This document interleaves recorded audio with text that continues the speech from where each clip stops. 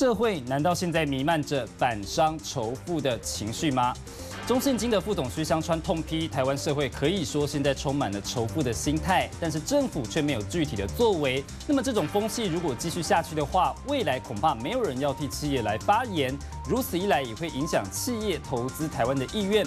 但是这样的说法其实引发了相当大的争议。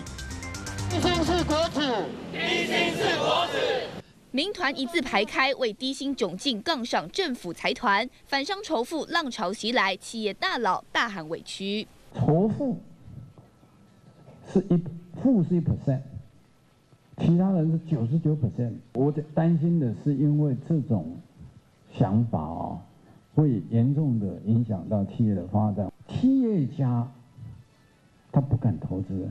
语气中尽是担忧。四号工商协进会拿数据说话，一百零一年缴税六百多万户，税率百分之四十，大约四万人。金字塔顶端富豪扛下台湾将近一半的重所税。我们工商业界缴的税啊，也算是负担重了。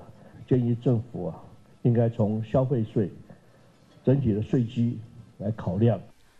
强化政府课税三思而行，毕竟免缴税或税率百分之五，竟然就占缴税户超过七成，富豪人数不到百分之一，扛下税负，却没有人替企业发声。政府在决策的时候，一方面要考到，当然要考到分配的问题，但是还要考虑到他在国际的竞争力，还要考虑他替。呃，社会创造就业机会。财团表态，税改让公平正义出现偏差。财政部回呛，二零一三年台湾租税负担率只有百分之十二，低于邻近亚洲国家，甚至不到英国一半，几乎成为世界最低。如果他们有正常报的话，应该都差不多啊。有一些避税的方法。你说要怎么反上？